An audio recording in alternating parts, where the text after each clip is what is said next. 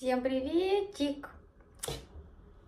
Я сегодня хочу с вами поговорить про растяжку. Не пугайтесь вот этой вот моей раны, меня никто не бьет. Это я на кольце недавно ходила заниматься. Вот такие последствия. Если вы вдруг надумаете тренить на колечке, воздушной гимнастикой заняться, то вот такие вот вас ждут следы на руках и ногах. В общем, а, про растяжку. А, я себе даже выписала небольшую шпаргалку вот так вот она выглядит. Я вам сейчас покажу. Чичик. Все, что я... Ой, тут волк. Прикольно. Uh, да, весь мой контент собран на андроиде. Uh, короче, выписала несколько штук, которые бы хотелось обсудить. Ой, так как я начала преподавать онлайн, uh, у меня возникло очень много вопросов относительно подхода к тренировкам, Э, к растяжке, к шпагатам, ко всяким разным положениям, плюс йога сюда добавилась. И я думаю вообще, в правильном ли я направлении двигаюсь, потому что мне не хочется калечить людей, не хочется калечить себя. Э, и то, что я наблюдаю порой на ютубе и в сторис э, у разных ребят, у моих друзей, у незнакомых, меня, короче, я в состоянии шока нахожусь от, от увиденного.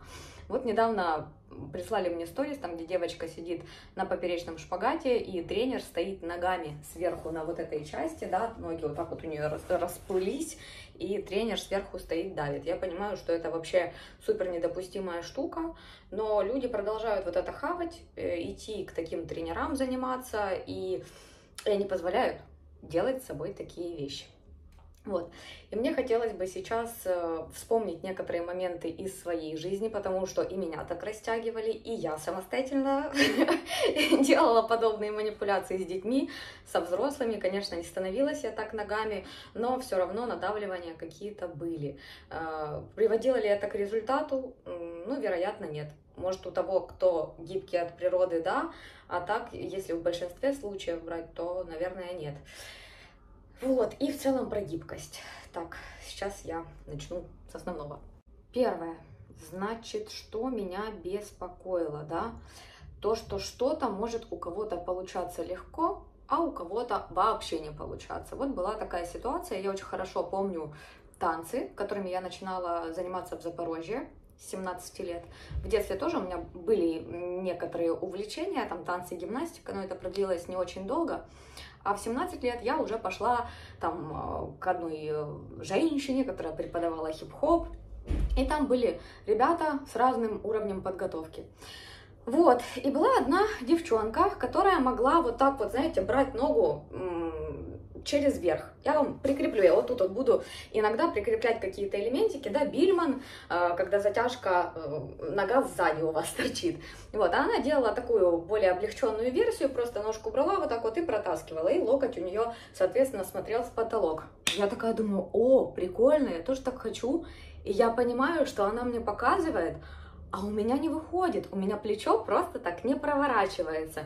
Я чувствую напряжение в верхней, верхней поверхности бедра, у меня бедро не опускается на пол, так как она сидит, но при этом я знаю наверняка, что она не занималась никакой гимнастикой, она просто приходила так же, как и я на танцы. Все, но у нее это получалось, а у меня нет.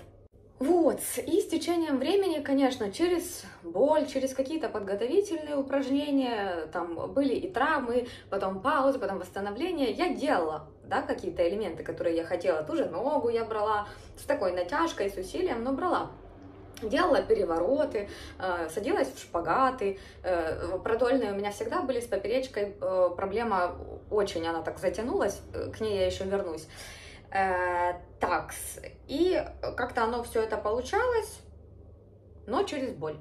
Все, чего бы я ни коснулась, оно давалось через страдания. И никто из тренеров, а у меня их было очень много, то есть это было, были танцы сначала, потом акробатика, потом учеба в академии, воздушная гимнастика, йога.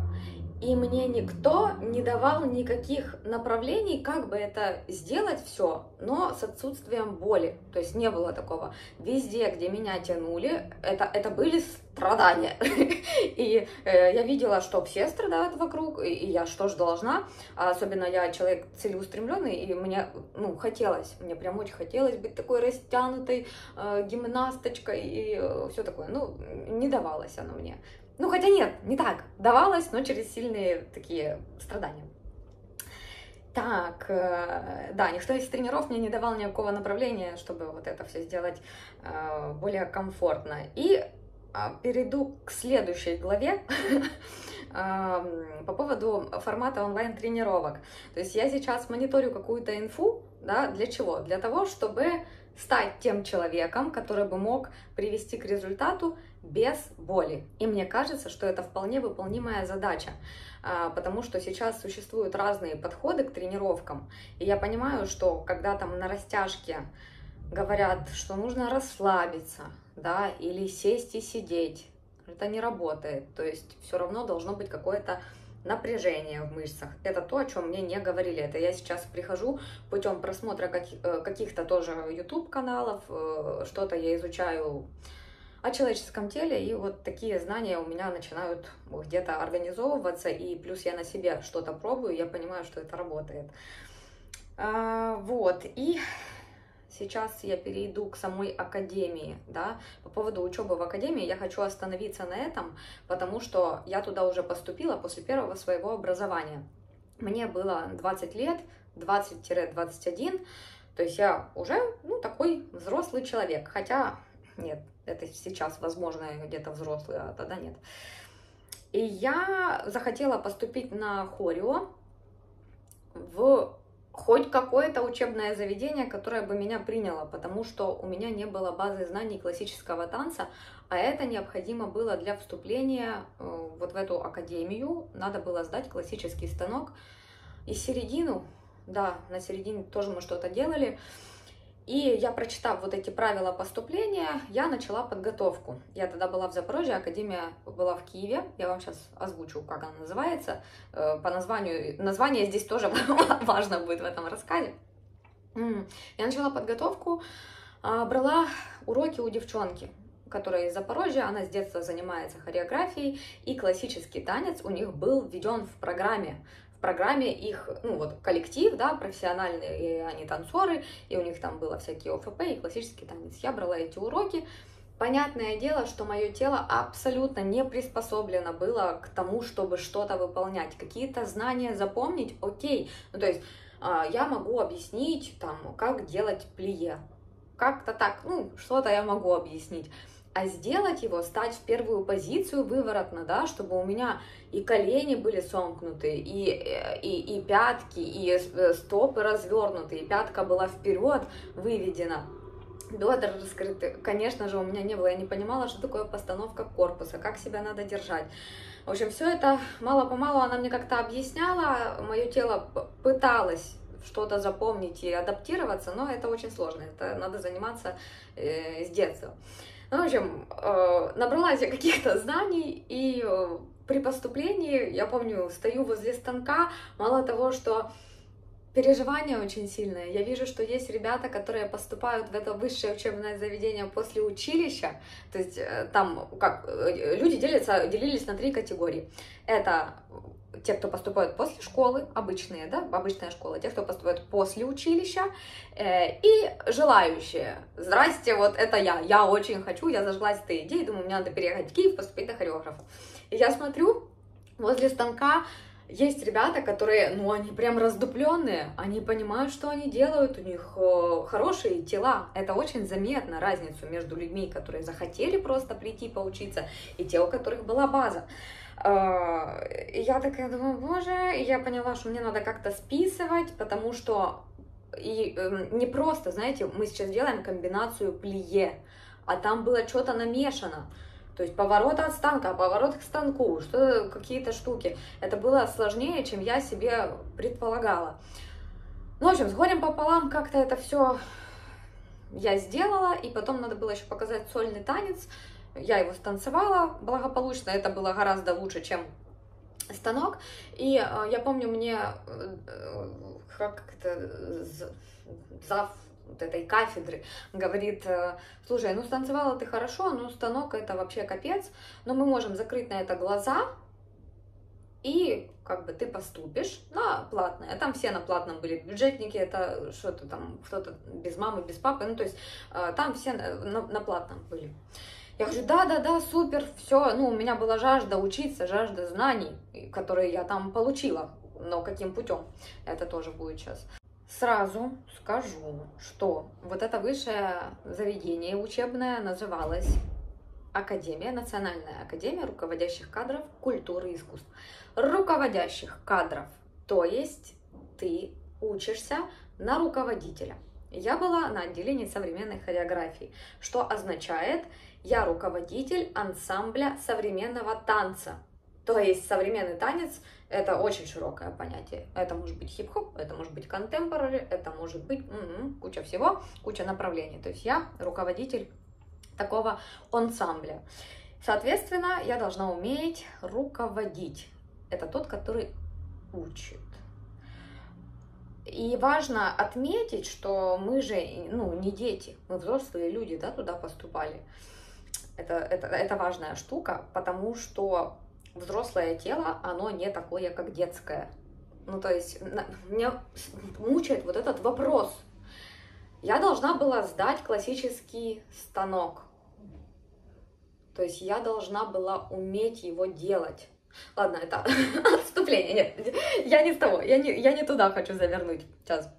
А, просто почему я возвращаюсь к детям? Потому что когда дети поступают в балетное училище, у них есть отбор. Это э, будущие артисты их отбирают, да, у них есть определенные параметры, что там смотрят. Я э, даже выписала, потому что я недавно посмотрела выпуск с вот эта комиссия там сидела, там э, женщина рассказывала, какие данные должны быть у детей, и я выписала, на что смотрят.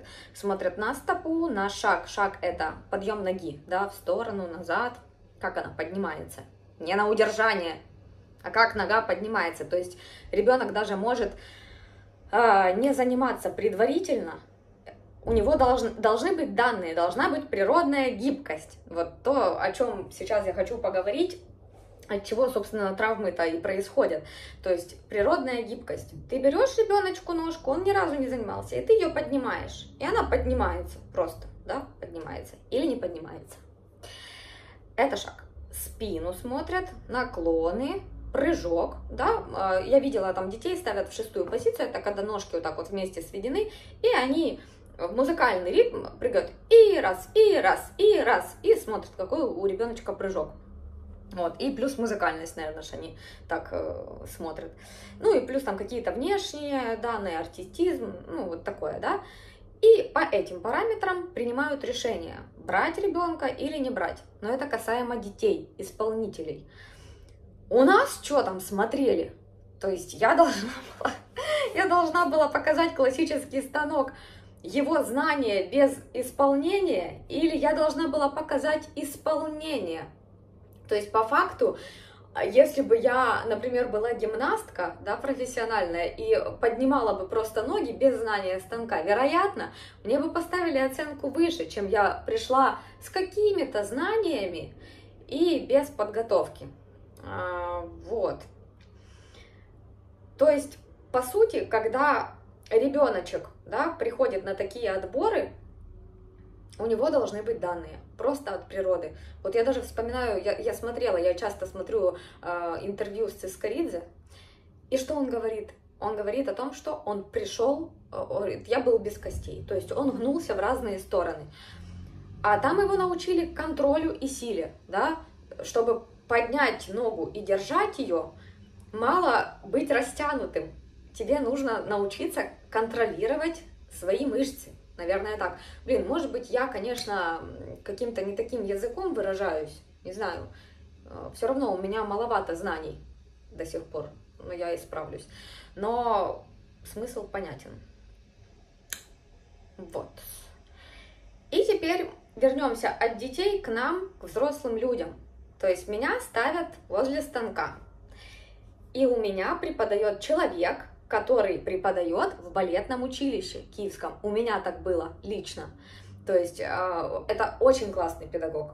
Вообще, э, скрипник у нее фамилия, чудесная женщина. Э, она сама в прошлом артист, и я сама видела ее в деле мы ходили на экскурсию в балетное училище, и она там преподавала, и потом она преподавала у нас. И, конечно же, у нее есть определенные требования к телу. То есть ногу надо было поднять, ногу надо было держать. Ну и, конечно же, не все мы были одинаковые для преподавателя, для любого, для классического, классический это танец, народный танец, современный. Все мы были разные, и э, я все равно видела, что педагог смотрит на людей, у которых э, есть данные, они, может быть, не так сильны, но у них есть данные. Вот я помню, у нас была девчонка одна, Алина, она из гимнастики, из художественной пришла, и у нее все, у нее рост, у нее такие длинные конечности, все такая она тоненькая, хрупенькая. И все, что она делала для разогрева, она приходила в зал и плюхалась просто в шпагат. Для нее это не было проблемой. То есть э, я даже не знаю, как она так грелась, чем она там грелась. Она такая сядет, сидит в жабке и просто раскачивает таз вперед-назад. Э, или, э, не знаю, взяла там ногу сзади и тянет ее. Ну, то есть для нее это не составляло труда. И когда она становилась к станку, к ней было больше внимания, чем ко всем остальным. Хотя у всех остальных, э, ну там, я нескольких девочек припоминаю, у которых тоже была хорошая растяжка. Э, себя я э, не отношу к этим людям, потому что у меня, я сама по себе маленькая, тогда я весила больше, там, 50 могла весить килограмм, 52. Для моего роста это очень много, я 150 сантиметров. Ну, прикиньте, бульба вот такая, как, ну, не чупа-чупс на палочке, ну, я так равномерно полнею, и это не выглядит норм. А если ты еще и стоишь возле классического станка, и у тебя нету растяжки, и ты еще и не знаешь комбинации. Я помню, как меня ставили, а, есть да, центральный станок, есть боковые.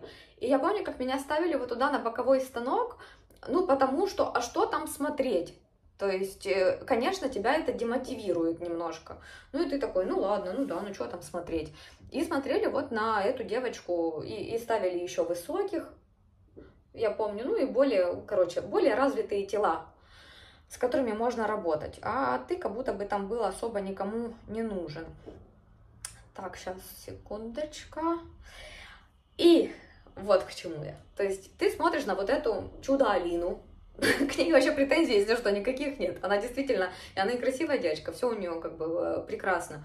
Но ты на нее смотришь, и ты понимаешь, что ты хочешь тоже, как она. Ты хочешь, чтобы на тебя тоже обратили внимание. И что ты делаешь? Ты начинаешь растягиваться всеми правдами и неправдами. А как ранее было сказано мной, меня никто не учил растягиваться без боли. То есть мы все привыкли, и я смотрела, кстати, вот в академии на девчонок, там одна, э, там та же Алина говорит, а вы можете мне подавить там еще больше на ноги, да, лечь на какую-то возвышенность, еще больше ее додавить, а, и, и ты это видишь, и, и у тебя формируется мнение, что тебе нужно так же. Я помню, что я э, насиживала в шпагатах на время. Я помню, я приезж... приходила в общежитие домой расстроенная. И знаете, что я делала? Э, было две кровати, вот этих двухэтажных. И я раскидывала ноги на эти две кровати э, и сидела на время в поперечном шпагате. Вот так. То есть это могло быть 5 минут, 8 минут, э, до дикой боли просто, э, до слез. И я понимала, что я все равно сажусь на пол, а оно не просаживается никуда. И я думаю, ну как так? Ну я же сижу, ну это же провис, ну я же должна что-то как-то там сделать. Э, при этом предварительно, ну как-то ты там что-то подразмялся, что-то ты знал, что-то не знал. Вот и погнал сидеть вот в этих шпагатах бесполезных. А, все равно эффекта никакого не происходило. Все равно Э, ну, допустим, окей, шпагат. Я говорила, что у меня были продольные. Продольные это все равно, ты как-то можешь там поднять эту ногу, э, подержать ее. Сила как-то со временем стала э, вырабатываться, ну, потому что все равно классика, да, ты делаешь плие, ты делаешь релеве, ты делаешь батманы, ты как бы все равно развиваешь силу ног. И и это очень, кстати, хорошо, хорошая разминка, как по мне. Вообще, балет годная штука. И когда взрослые люди идут на балет, не на растяжку, на балет, когда они учатся контролировать свои мышцы, вот это годная тема. То есть я помню, что я научилась, да я до сих пор могу держать ногу, выводя в сторону, чтобы у меня были развернуты вперед бедра правильно, стопы стояли выворотные, я могу задержать ногу наверху. Потому что есть контроль мышечный. А, вот, так, сейчас о чем, о чем, о чем. Но все равно ногу, допустим, ты можешь поднять. А есть такие штуки, как прогиб, да? Назад ты прогибаешься. Нам говорили, гнитесь под лопатками. Под лопатками гнись! Я думаю, блядь, а я вот так вот. Где, там лопатки? Ёпта, у меня мой прогиб под лопатками это... Есть я вообще не гибкая в спине. Если плечи хоть как-то, я, кстати, перевороты все делала за счет плечей то спина это вообще, ну, я не понимала, что такое работа над грудным отделом, под какими там лопатками надо гнуться. Я понимаю, что я просто никак не прогибаюсь. И это со мной. И, э, ну, а какое ну, знаешь, мне задай вопрос тогда, какие вы упражнения знаете на спину? Что я могу сказать? Мостик, э, лодочка, корзинка, да, что научили вот там вот на гимнастике еще в детстве, то я и юзала. И понятное дело, что ну, никак ты все равно, ты не будешь гибче за счет этих упражнений, за счет просто э, перекатов, э, или если ты в мостике будешь настаивать, ничего не произойдет. Там, ну, какой-то Мальский эффект был, но это, это не то, что нужно. Это вообще неконтролируемые какие-то штуки. И вот э, мне сейчас 32 года, а ТБС, э, правый тазобедренный сустав у меня болит. Но, э, так скажу, болит, ну, наверное, последние полгода и год, наверное, даже, я работаю над ним. То есть я ищу какие-то схемы, методики, которые бы мне помогли. Это, если что, знаю, не какие-то блокираторы, не уколы, а это упражнения с собственным весом, благодаря которым работает ягодичная мышца, э, благодаря которым я укрепляю ноги, икроножные, со стопами работаю. Э, таким образом я пытаюсь сохранить здоровье своего тазобедренного сустава. То есть, что я хочу сказать. Не всем дано быть гибким от природы, но мы можем э, увеличить, что я хотела сказать, улучшить эти показатели и увеличить диапазон движения путем силы, контроля напряжения мышц и дальнейшим вытяжением, ну назовем так, вытяжением, растяжки, не знаю, наверное так. Все-таки я такую схему применяю. Э, растяжка это не расслабление, растяжка это контроль то есть даже если вы сидите в жабке, например, и вы делаете перекаты вперед-назад, да, подкручиваете таз туда-сюда, вы должны это контролировать, вы должны быть мозгами на тренировке, потому что вот тоже, э, что я замечала, ты заходишь, а, например, в танцевальный класс, и все перед э, классическим или народным танцем такие, знаете, они сидят на полу, и просто в складке там сидит человек и что-то клацает в телефоне. Вот, это уже э, фиаско. Потому что вы головой должны понимать и думать о том, что вы делаете, что, над чем вы работаете, что у вас напряжено, где у вас расслаблено и почему оно расслаблено. Не должно быть расслаблено. Так. Да, ну и как бы у всех разный показатель э, вот этой гибкости. Вы можете никогда не сесть в шпагат, на шпагат вышпагат, поперечный в частности, потому что разное строение таза бывает у людей. Э, да и продольный, я так думаю, тоже не все это могут сделать. Как и вот этот Бильман, который... Я, я, я бредила этим элементом, как мне хотелось, да мне до сих пор, я не, не буду врать, мне до сих пор хочется улучшить свой вот этот показатель, потому что э, при... Ой, ну не знаю, мне, наверное, надо часа полтора позаниматься для того, чтобы взять ногу там вот через верх. Да, я могу ее взять, но это всегда с трудом. То есть у меня вот грудной отдел, плечи, это, это вообще какая-то беда. А, и я понимаю, что, может быть, и не нужно мне это делать. Может, надо уже прекратить себя насиловать и работать э, со своим здоровьем.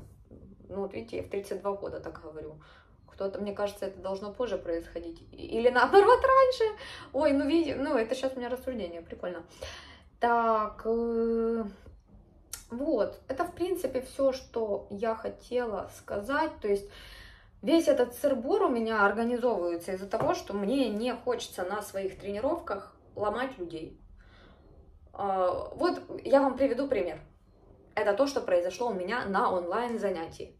Я думаю, сейчас... А, девчонка, она говорит, «Э, у меня болит в тазу у меня, ну, есть какие-то боли, потому что э, давно, кстати, я с ней знакома, мы вместе танцевали, мы вместе вот это вот по-идиотски тянулись, э, ну, то есть я понимаю, что были неправильные шпагаты или э, были какие-то э, ну, травмы на сцене. И она говорит, ну да, есть дискомфорт, то есть где-то на одну ногу я делаю выпад, я чувствую себя нормально, а на вторую ненормально. И я думаю, о, можно как раз с ней поработать с упражнениями на тазобедренную, на ротацию, на мобильность тазобедренного сустава. Я здесь, человек у меня вот там в телефоне, да. И я понимаю, что мы начинаем с ней работать, и вроде все нормально, проходит там тренировка, на следующее занятие она говорит, у меня болит колено теперь. То есть я понимаю, что я, я же тоже не могу проконтролировать, да, человека, как как он выполняет, допускает ли боль он в этом упражнении, потому что все равно говори, не говори, а люди, которые э, привыкли, да, они ходили там на гимнастику, на танцы, они все равно, э, даже когда чувствуют боль, они считают, что это нормально. Это нормально, любая физактивность равно боль. И они даже могут неосознанно пропустить этот момент. То есть, а, ну там где-то мне было больно, ну и что, ну и что. Э, и я понимаю, что, ну, она говорит, у меня болит колено, я думаю, блин, а болит-то оно от таза. Ну, то есть мы что-то сделали, может быть, что-то я пропустила, может быть, что-то эта девочка пропустила, но болит колено, э, не то чтобы, знаете, может, в повседневной жизни оно не болит, но, допустим, взять корзинку, да, вывести корзинку наверх, все, уже оно там где-то подмывает. И единственное, что я сейчас могу предложить, это заниматься укреплением ягодичных мышц, да. Ну, я не, не, не отрицаю какие-то упражнения на мобильность, но то, что нам надо укреплять это все, факт. Вот, рассказала вам такую штуку. То есть э, в связи с вот этой академией, которая у меня произошла, я думаю, я начала растягиваться просто потому, что я видела, что не хватает мне внимания от педагога, потому что я видела, что есть кто-то лучше меня, и я стремилась к вот этим людям, да, сквозь боль, сквозь страдания, травмы, ты все равно пытался дотянуть, ты понимаешь, что тебе это вообще никак, ты во вред здоровью своему работаешь, но из-за того, что тебе никто не объясняет, что так не должно быть, вы не должны терпеть, или, или, например, а, я помню, была такая фраза, так вы учитесь здесь на педагога, то есть вы должны уметь объяснить. Окей, вы должны уметь объяснить, но тогда почему идет такая градация между учениками? Какого хрена, блин? Потому что я, э, я чувствовала себя дискомфортно в этом обществе потому что я какая-то не такая. А мне не объяснили, например, что э, да не надо драть эту ногу до головы, вы просто должны знать правила, поднимите ее ниже, да, не нужно ее там держать и пытаться там что-то через себя. Выстроите правильно свое тело, пускай нога будет ниже, и все. Но такого не было. Или у меня куда-то память подевалась. Но я просто, я, я, у меня всегда на виду в академии были люди, которые делали себе больно. Э, все сидели через боль. Вот, я не исключение.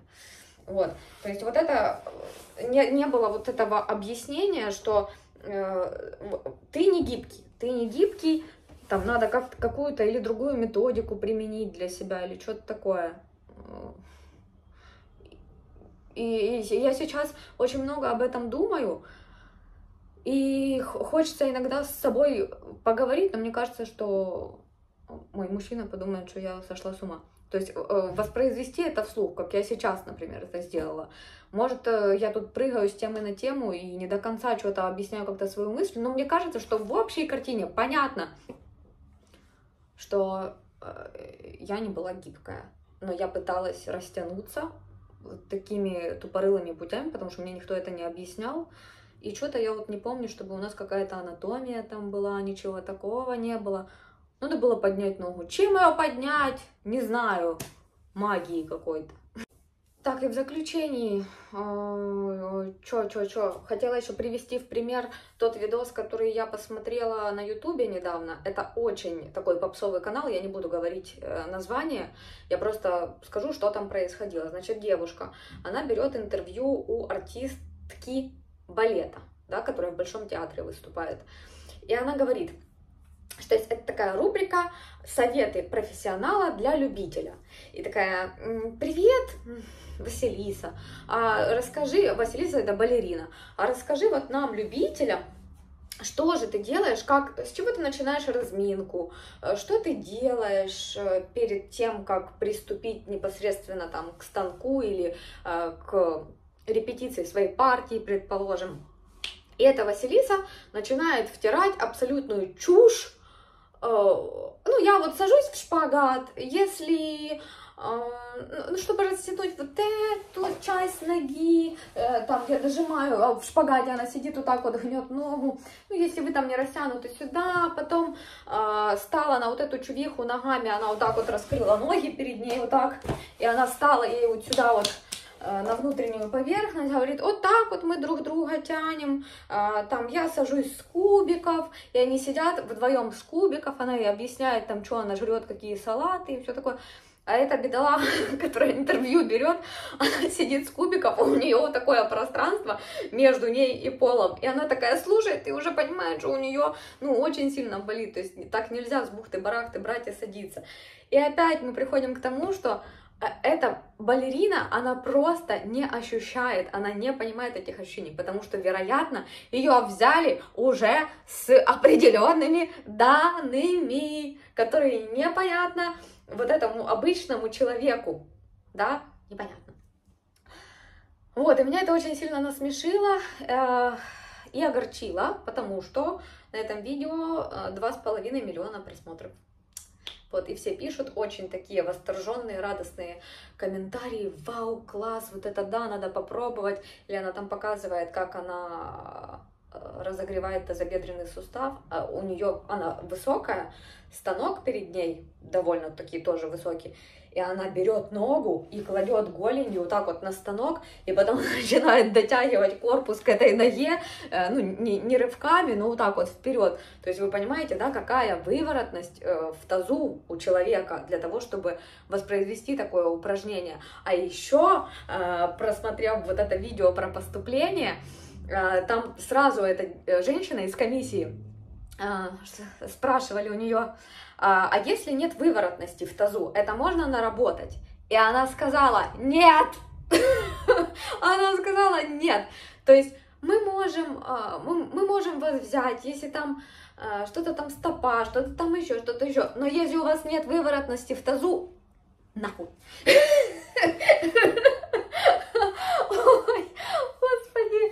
также еще был вопрос о том, эм, то есть с какого-то возраста она, они принимают а возможно ли поступить человеку, которому 13-14 лет? И она сказала тоже нет. Э, настолько сейчас велика конкуренция, что она, как она сказала, это должен быть какой-то, это волшебство, это чудо должно быть, если человек придет в возрасте 13-14 лет, с вот такой природной гибкостью, и мы поймем, что вот да, можно его там научить чему-то, а можно его к станку поставить. Я это не придумала, я это посмотрела на вот этих вот всех балетных каналах, там, где брали интервью у людей, которые непосредственно там работают. Вот, а мы, э, обычные люди, пытаемся что-то из себя вообразить э, и достичь какого-то вот такого результата, э, насмотревшись, не знаю даже чего насмотревшись. То есть на, на, на нас давят, да, там сверху, пытаются усадить как-то силой. Вот. И я бы сейчас об этом так не кричала, если бы э, не болела у меня, если бы не болела у кучу-кучу-кучу разных людей вокруг.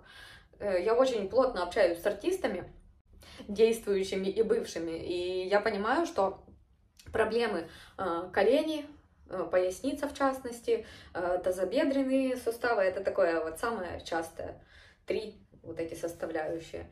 И, а так как организм это целостная закрытая система, то одно с другим взаимосвязано. Все, мне кажется, я все сказала.